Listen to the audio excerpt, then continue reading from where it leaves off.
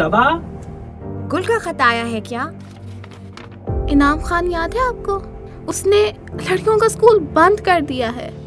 क्या हुआ? इतनी खामोश क्यों हो? मैं चाहती हूँ कि हम सब दो मुल्क वापस चले जाएँ। ये इनाम खान जो है ना ये बहुत खतरनाक आदमी है।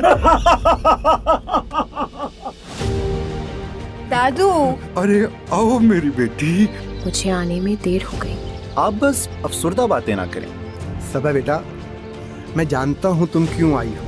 मैं उस स्कूल को दोबारा खोलना चाहती हूँ।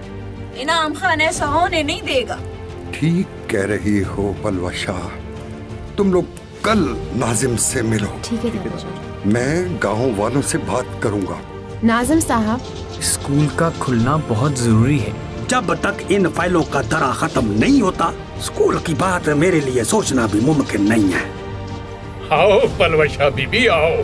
स्कूल के दोबारा खुलने की तैयारी हो रही है लाला। खामोश! अस्सलामु अलैकुम मेरे अजीजों। आखिर ऐसी क्या बात है जो पूरे गाँव को इकट्ठा कर लिया? बच्चियों के स्कूल को खोलने में मेरा साथ दो। मुझे तो ये समझ नहीं आ रही कि आपकी खैरत कैसे गवारा करती है कि अपनी बच्चों को घर से निकाले। कोई ऊंच नीच हो गई तो कौन जिम्मेदार होगा? मैं लूँगी ज़िम्मेदारी। बच्चियों की हिफाजत करना खूब जानती हूँ।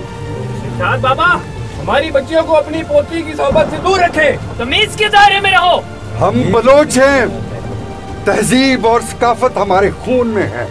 अगर हमारी बच्चियों पर इसका साया पड़ा खुद औलाद वाली है भुगतेगी।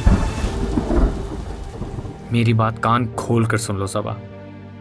तुम तैयारी करो, हम कोयटा वापस जाएँगे। मैं उम्मीद बनना चाहती हूँ इनायत उन लाखों लड़कियों की जो बेचैन हैं इल्म हासिल करने के लिए। मुझे आपकी ज़रूरत है। इनायत, क्या आप इस काम के लिए मेरा साथ देंगे?